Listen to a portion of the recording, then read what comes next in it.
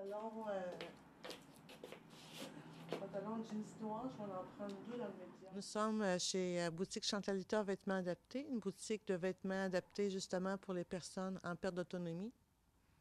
D'où vous est venue cette idée?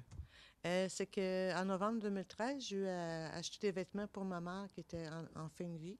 Puis j'en trouvais pas ici à Trois-Rivières. Il aurait fallu que je commande sur Internet ou euh, voir une couturière. Puis finalement, c'est ça qui m'a donné l'idée de partir mon commerce. Et comment faites-vous pour fabriquer ces vêtements pour adapter, adapter justement pour les handicapés? Euh, c'est pas moi qui les fait, c'est on fait à Matane, chez mon fournisseur. Parce qu'au Québec, il y a trois fabricants de vêtements adaptés.